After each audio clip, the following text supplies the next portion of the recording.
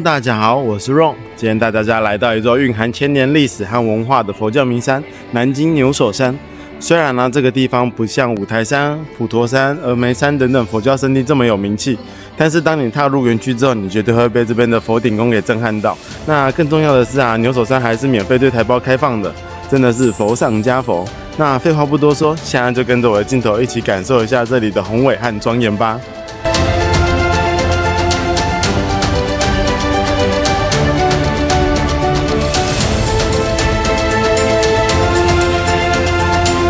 这边一进来的时候，他还送了一个这个小方巾在这边，那是好特别的小纪念品，还是免费的。在网络上啊，看大家都是说要从东门进，然后西门出。那东门的话进来的话，就是可以跟他们买他们的这个接驳车。接驳车的话，一趟是十块钱，就是等下就是在这边搭他们的接驳车上去。据说啊，从这边到山顶上大概是有三公里左右的路程。那如果说想要保留体力的话，就是直接搭他们的接驳车上去就可以了。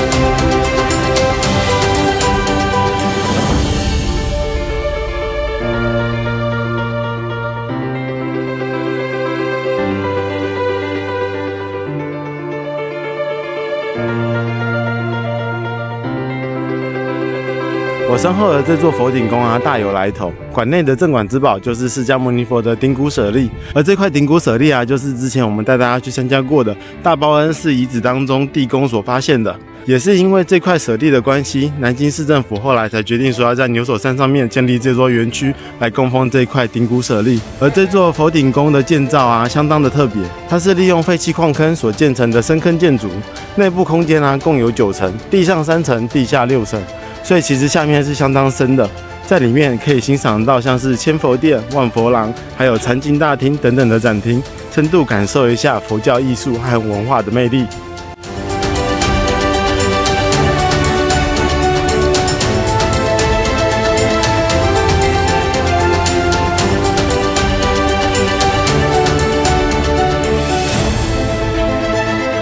整个佛顶宫啊，它都是以佛祖的顶骨舍利供奉为主题建造的。外部的部分呢，为大穹顶和小穹顶两个部分，寓意着是外供养和内供养。大穹顶的形状啊，犹如佛祖的袈裟覆盖在小穹顶上面，也象征着佛祖的无量加持。小穹顶下的部分为莲花宝座的一个造型，上部分是模拟宝珠的造型。那上下结合之后，会形成一个莲花托珍宝的一个神圣意象。在设计上面是相当的大气，而且有巧思的。那我们等一下就一起走进佛顶宫，带大家看看内部是什么样的景象吧。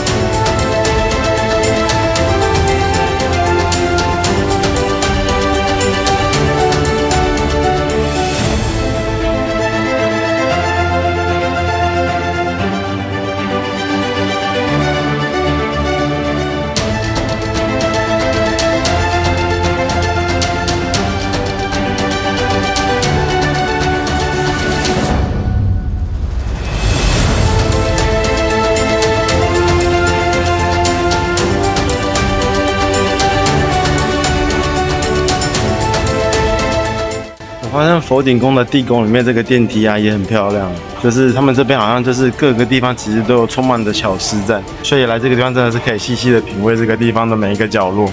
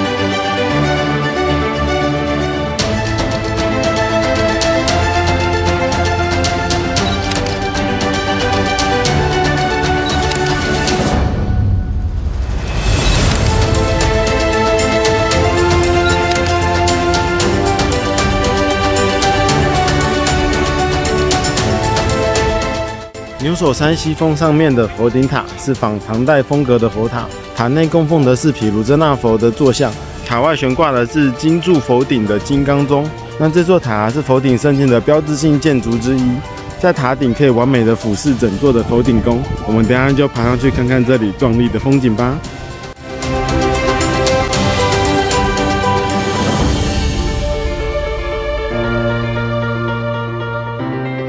这塔里面的楼梯真的是蛮小的，因为主要是因为里面有点闷，爬起来其实也蛮陡的。那如果对面有人的话，就是爬起来会相对的 会有点小会车，就不太好过这样子。刚算了一下，其实一层大概是四十个台阶，爬这个真的是检验你的体力啊。那我们爬上来的话，最多只能爬到七楼的部分，八楼以上就不让进了。那据说啊，在这七楼可以看到最美的风景。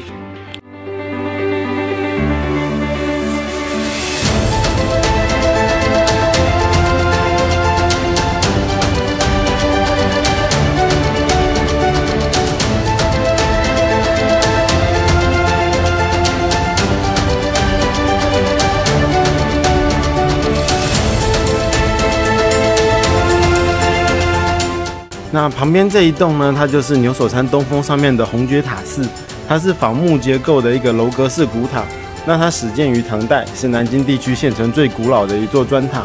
那这座塔它另外一个特色就是塔内有一个地宫，里面出土了很多相当有名的一些文物，其中最出名的就是鎏金喇嘛塔，已经是南京博物院里面的镇院之宝之一了。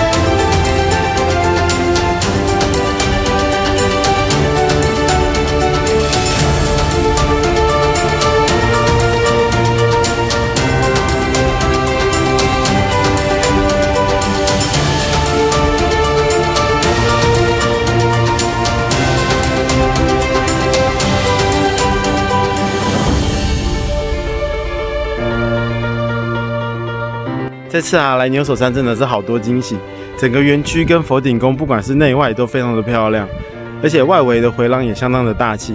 这个地方非常推荐对宗教啊，或者是对建筑有兴趣的朋友来走走看看，一定能够收获很多。那最后啊，希望你们喜欢今天的牛首山之旅。如果你有兴趣的话，请一定不要错过南京的牛首山，体验一下这里的各种叹为观止。不只是相当华丽之外，内心也是相当的激动。那影片的最后，感谢你的收看。如果你喜欢这期影片的话，请记得帮我点个赞按订阅哦。我们下次见，拜拜。